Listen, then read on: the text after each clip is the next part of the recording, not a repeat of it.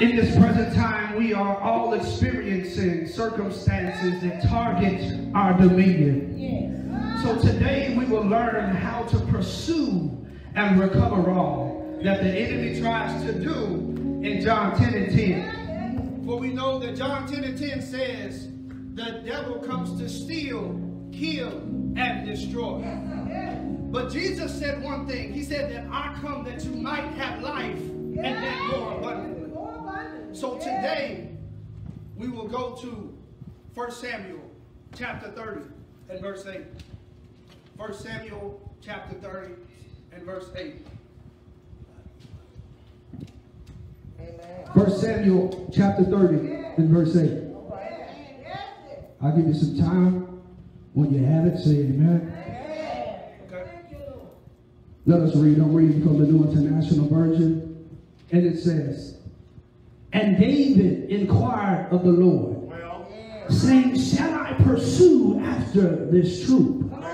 Shall I overtake them? And he answered them.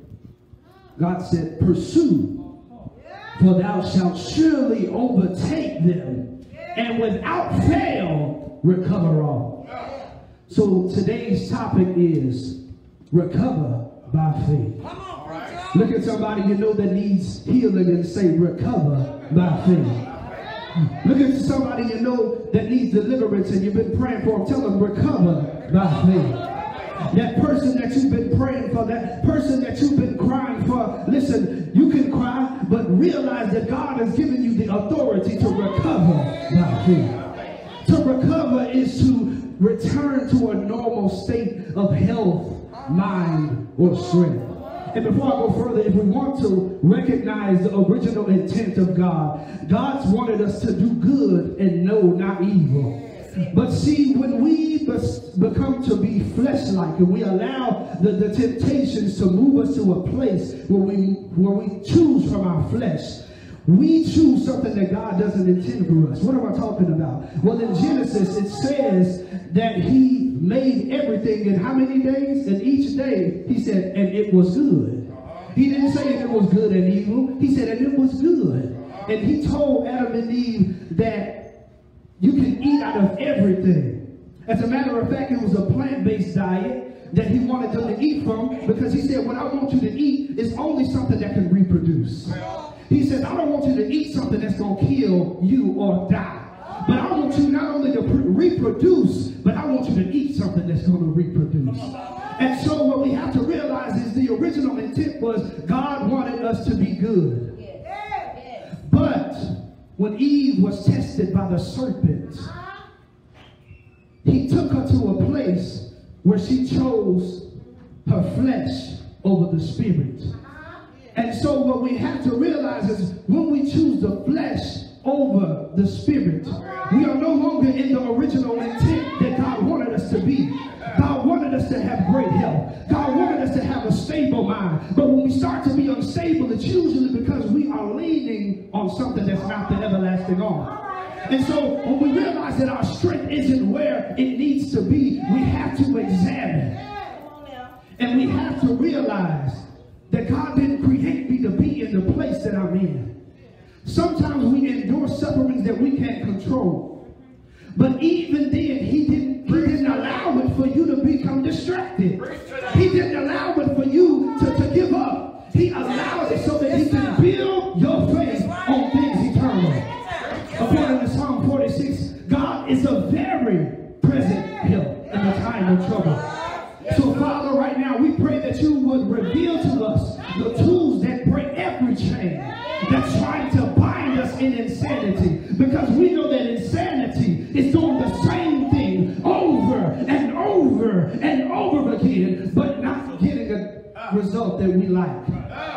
We want to see healing, but we won't go to the doctor. Come on, come on. You want it? You we want to be delivered, but we don't want to throw up. Take your time, Williams. Yes, sir. We want to be saved. We want to be saved, but we don't want to read the word. Salvation comes through the word of God. Yes. Salvation comes through the word of God. And so if we don't take time to examine ourselves and evaluate that this is something that God needs to help me with, not something I need to help myself with, because that's where we fall short. God says, I will be a very present help in the time of trouble if you seek me. So, Father, I pray that as we go further, you will give us the tools to unlock the mystery. In Jesus' name we pray. Amen. All right, so according to 1 Samuel 30, if we really examine what's going on here, David was leaving a place. The place he left was with the Philistines. They were headed up to make a move. And as they were headed up to make a move, one of the guys who was intimidated by David said, Hey, why are we taking him up here with us? Why are we taking him up here to do our work? And the reason why he said this was because David had such a presence, not only of intimidation, but the glory was on him so much to where if people couldn't understand what he was flowing through, they became jealous of. And so there was a guy who was saying, we don't need him coming with us. Isn't this the same David that, says, that they said Saul slayed his thousands, but David slayed his tens of thousands. So he was like, man, ain't no way we can take this person with us because if, if, if he's still serving the same God, why would he turn on us? And so we see where David's in a place. David don't even really understand what's going on until it happens. He, he's walking and all of a sudden they're like, David. The other guy said, David, hey, David. He said, yes. He said, we respect all that you have done. We respect everything. Uh, check this. When people start talking to you and start saying, you know, we respect this. And they try to dismiss you. I'm getting to it. They said, David, we respect all that you have done. Yeah, yeah. Preach, William. But we have to let you go back to your family. Because where, we- where we're going further, uh, we feel like you need to go back to your family and take care of your family.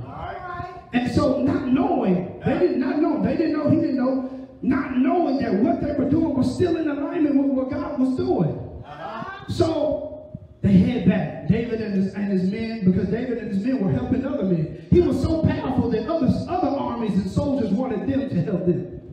And so, after this, he was like, what did I do? What did I do to deserve this? Why do, why do I have to go back? We're supposed to be going forward. But he obeyed. He went anyway. So he was heading back to Ziklag. And when he got to Ziklag, he, he went back, you know, expecting to see his, his, his, his wife, his children. The, the, the men were expecting to see their wife or children. Yes, Lord. They get there and the city is burned. No sign of kids. No sign of, of children. And the guys freak out.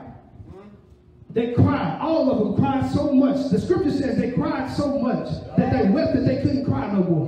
The tears were gone. All of a sudden, his men wanted to jump against him. They, they, they tried to, they was like, they were coming up with ideas, you know, maybe we should stone him. Maybe we should attack against him. We following him and all our kids and our, and our wives gone. But watch what happens. David put on the ephod. He, he, he told one, he said, go get me the ephod. The ephod back then, it was a garment that the priest put on to, to, to, to, to, to, to recite to God and, and, and, and question God, to receive the presence of God. It was it had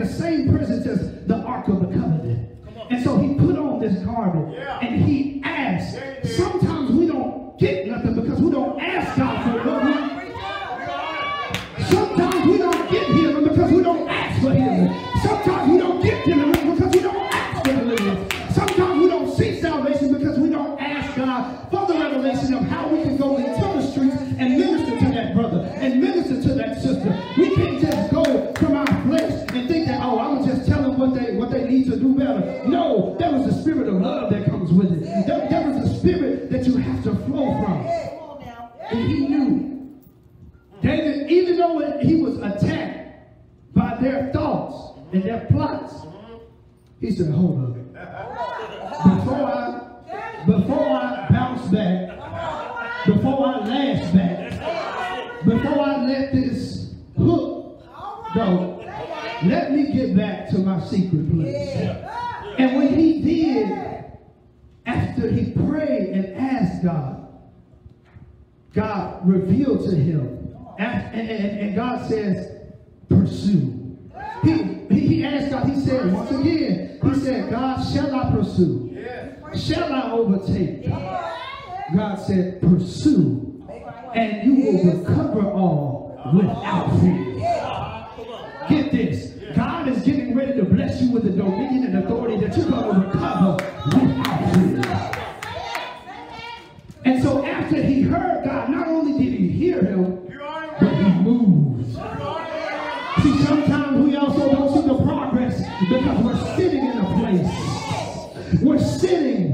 And we're not moving.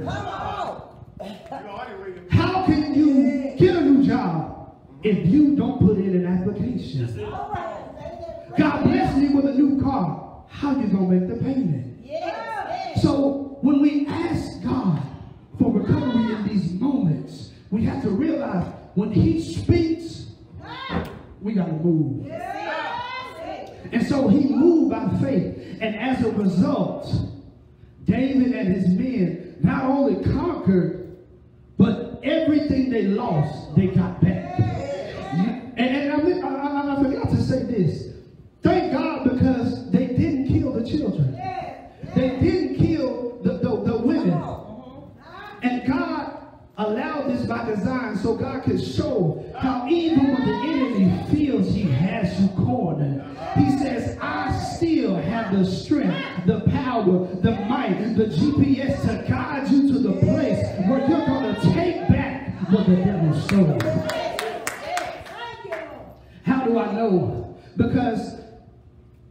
about a month ago, me and my wife, we went to Texas to visit family before all of this COVID stuff happened. A lot of people don't know this, but I'm gonna release it.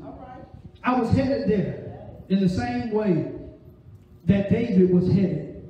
So we, we went, enjoyed ourselves, and on the way back, you know, David went somewhere, came back. On the way back, the truck stopped. On the freeway, I'm trying to press my accelerator, and it wouldn't move. It stopped at a certain point. and I couldn't even get over like 20 miles per hour. I said, God, how in the world do you expect us to get back? Yes, we have a little money, but it's, it's not enough for us to be able to try to get this and get that. And, and, and so I'm, I'm uh, only to find that God was setting us up for a blessing. You see, we were headed back, and as we were moving, once again, we were headed to a place we expected to be, only to find out that, that where we were going mm, had been depleted and cut off. In a, in a sense where we, we, we had to seek God in another realm, seek God in another way. And I'm not gonna lie, when, when we found out, man, this truck broke down, we started getting frustrated. We, we, we were like, how in the world? We got these kids in the back of the truck. How in the world are we gonna make it through this? We had all of these thoughts, one of the main things that I thought of, and my wife actually agreed with me, we might as well give up this truck. We too far away from, we about 800 some miles away. Uh, I may got that wrong, but we, we so far away. How in the world we expect to get church, tow this thing or whatever? We, we don't have the money for it. We might as well get a rental, drive back, and just try to get another vehicle. But God made, God, God spoke to us. Uh, uh, uh, God spoke to us. And, and, and, and even though we, we, we were feeling like that, something funny happened. In the midst of us feeling like that, we put on the Spirit. We, we asked. We, we, we didn't say, okay, we're just to do this. We stopped. We said, well, hold up, let's at least try. Let's ask. You see, you see, a lot of times the soul man tries to control the spirit man. And a lot of times you got to put that spirit man back in check. Sometimes we get to a place where we can't control the spirit man because we've allowed the soul to guide us. But sometimes when, when, we, when, we, when we haven't gone out on the deep we, when we haven't taken that step, had we just said forget it, it probably would have gotten worse. We probably would have had a bill we still have been trying to pay. But, but what I realized is we had to step back and breathe. Uh-huh. Sometimes you got to step back and get into a quiet place. You got to say, okay, God, I see what's happening, but how do I get through? Uh-huh. When we asked God that, there were certain resources that we connected to that helped us think about it in a different way. Hey, got to be accountable. You got this vehicle. Yes, you can give it up, but it's still going to be under this You didn't get this vehicle from them just so you can just say, well, it's messed up. I can go back to you. No, because you signed and you said you were going to take care of it. Now, I know sometimes we, you know, we have our moments, but this was something God was not going to let us just get out of. And so after after we heard the advice, we moved and we made a phone call. And, and through all of this, after our acting, listen what happened.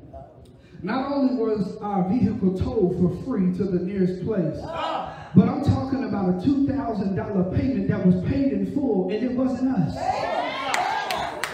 God made a way when we didn't. When we would have had to take a week and a two and three weeks to, to put up the money, God had somebody that was a ram in the bush and said, since you have moved forward in making the request, I'll take care of it. And so we have to understand this when we even evaluate our own situations. You see, sometimes you might be headed to the doctor and you might find a bad report. So you might cry, you might weep, and you might mourn. All of a sudden, the devil's telling you you're going to die. All of a sudden, the devil makes you feel like you don't have the power to fight. All of a sudden, you have all of these thoughts coming in your head. Lord, what am I going to do? Doubt sets in.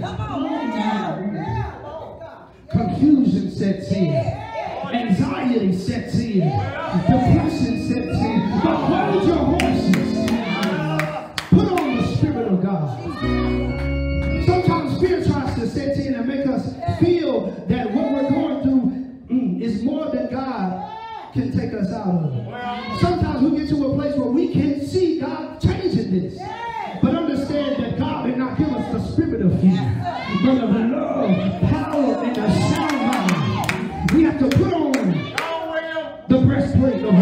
Righteousness. We have to put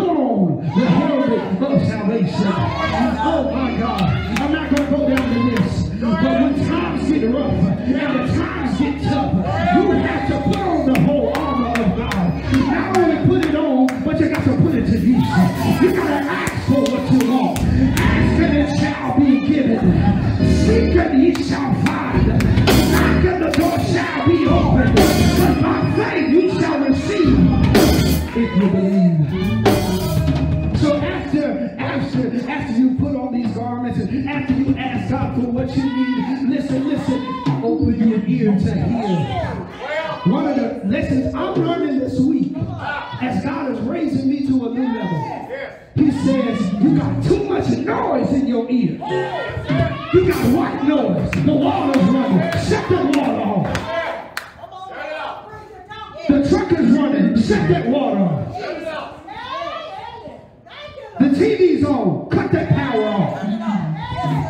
He says, how can you hear me when you're focused on something else? He says, I need you to get to your secret place where you worship me at your feet. We got to get to a secret place where we can drown out all the noise, where nothing is blocking us. And sometimes we just have to wait. Why? Because the scripture says, wait on the Lord, and he shall renew your strength. Why is this so important? Because faith, according to Hebrews 11 and 1, faith is the substance of things hoped for and the evidence of things not seen. Let me give you another example. Luke, according to verse 7 and 9, speaks of the centurion who was over people in the army. And so there was somebody that needed healing that he was attached to. And Jesus stepped on the scene. When Jesus heard this, he marveled about it. And he turned him about and said unto the people, I say unto you, I have not found so great faith. No, not in Israel. What is he talking about? Because when he stepped on the scene, the man said, Lord, I'm not worthy for you to enter my house. I'm not worthy for you to be in my presence. But if you just speak into the atmosphere, he said, I have enough faith. I told men to go and they went. I told men to stay and they stayed. I told men to fight and they fought. So God, if I could tell men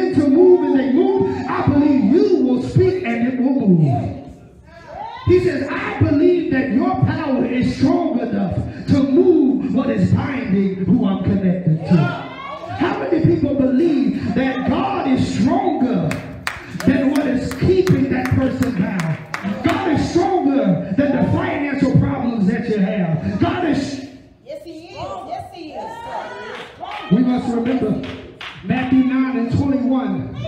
For remember the woman with the issue of blood. Year after year after year after year after year after year after year after year with the same pain, the same blood flow that would not stop. She felt the presence and saw the presence of God. She said, if I could just touch the hem of his garment, I will be made whole. But see, the key of this, she couldn't just reach him. She had to crawl and crawl and crawl and crawl. She had to go through the crowd. They were pushing her this way. They were pushing her that way. She had to crawl. She had to crawl.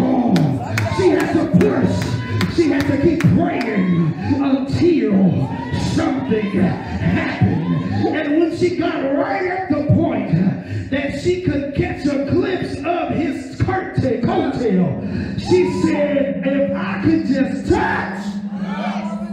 Notice what happened. Jesus said, who just touched me? For I sense that healing virtue has just went out of me. You gotta get to put, you got to get to the place of desperation where you can move through the crowd. You can move through the hell. You can move through the lies. You can move through the hatred. You can move through the discrimination. You can move through the cancer. You can move through the diabetes. You can move through COVID-19. And you can say, God, I know what I'm dealing